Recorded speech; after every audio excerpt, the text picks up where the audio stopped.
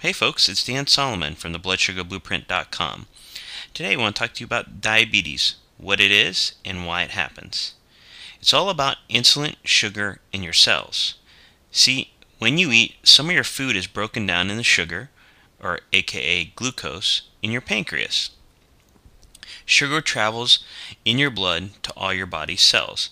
As you can see, here's a little picture of glucose in your blood and excessive glucose, which would be hyperglycemia in your bloodstream, where the blood sugar is not absorbed.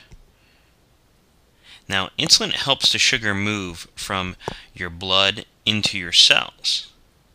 Insulin is a hormone that's made by the beta cells in your pancreas.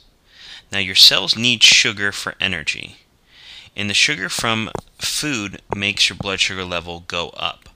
Insulin lowers the blood sugar level by helping sugar move from your blood into your cells. As you can see from this little picture here, uh, this, you have the stomach that changes the food into glucose, and glucose enters the bloodstream. Okay, the pancreas makes a little or no insulin at all, and that results in you know uh, higher glucose or sugar buildup in the bloodstream, which leads to hyperglycemia, thus being diabetes.